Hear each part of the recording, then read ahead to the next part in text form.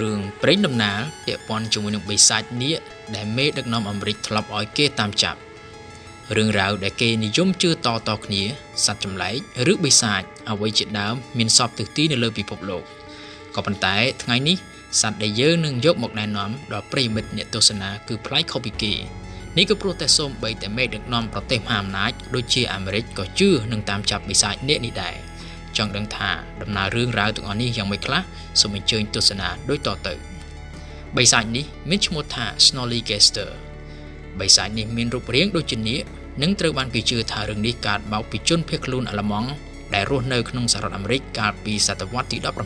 17ឈ្មោះរបស់វាចេញពីពាក្យថា Snelchis ឬប្រលឹងនៅក្នុងប្រទេសអាល្លឺម៉ង់នេះហើយគឺជាមូលហេតុដែលកាលនោះគេព្យួរសញ្ញាឆកោនដើម្បីដេញបិសាចនេះឲ្យជះចេញឆ្ងាយ ក៏ប៉ុន្តែមានអ្នកខ្លះជឿថា Snellygaster គឺជារឿងរ៉ាវដែលផ្អែកលើប្រជាជនអាមេរិកដើមទៅវិញពីព្រោះពាក្យថា Snellygaster គឺស្រដៀងគ្នាទៅនឹងពាក្យថា Michi Pesu ឬខ្លាតករបស់ជនជាតិដើមនៅឆ្នាំ1909រឿងនេះ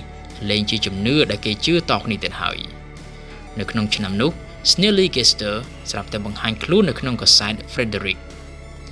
ទោះបីជាក្រោយមក គេថាព័ត៌មាននោះគឺជាព័ត៌មានคล้ายៗក៏មានមនុស្សមួយចំនួនធំនៅតែជឿថា Snellygaster មានពិត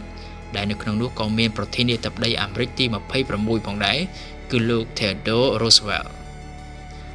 មិនត្រឹមតែត្រូវបានប្រធានាធិបតីអាមេរិកតាមរងទេវិទ្យាស្ថាន Smithsonian របស់សហរដ្ឋអាមេរិកក៏បានរៀបចំទឹកប្រាក់ចំនួន100,000ដុល្លារសម្រាប់អ្នកដែលរកឃើញសត្វមួយនេះ មិនថា Snollygaster មាននៅលើលោកនេះពិតឬក៏អត់នោះទេតែវាធ្លាប់ធ្វើឲ្យប្រជាជនអាមេរិកជាច្រើនមានការផិតភ័យនិងតក់ស្លុត។